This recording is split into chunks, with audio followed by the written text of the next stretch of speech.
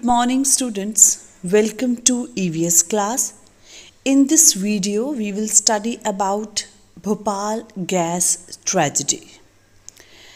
The Bhopal disaster was an industrial disaster that occurred in the city of Bhopal, Madhya Pradesh. This is one of the worst industrial disaster in the world. Incident took place in the early hours of the morning of December 3rd, 1984.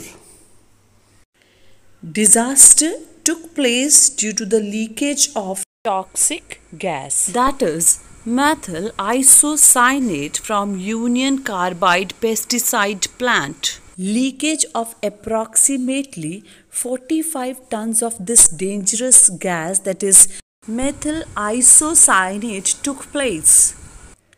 Approximately 5 lakh people were exposed to toxic gas.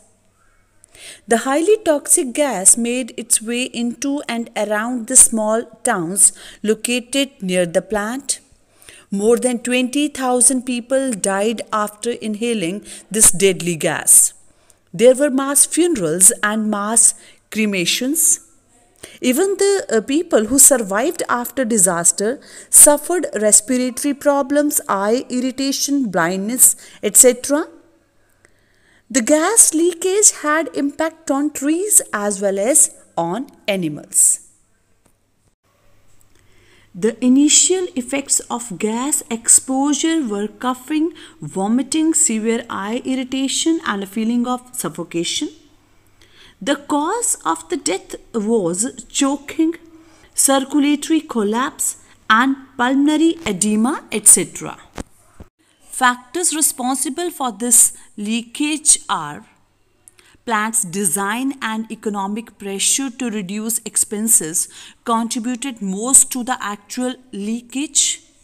And the major factor which made this disaster worst was its location it was located near a densely populated area. Other factors include Company exported untested technology to the Indian plant. No action plan was established by the company to deal with incidents of this magnitude. Safety checks were less frequent due to shortage of staff failure of several safety systems due to poor maintenance and regulations. The tragedy of Bhopal gas leakage continues to be a warning sign. Following the incident, state enacted several legislation including Public Liability Insurance Act 1991. Tighter regulations were framed India is a developing country. No doubt, economic growth is being observed, but threat for environmental balance as well as public safety is also there.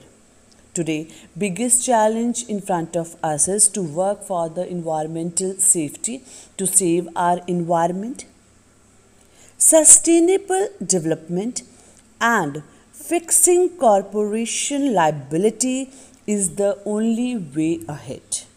Thank you so much.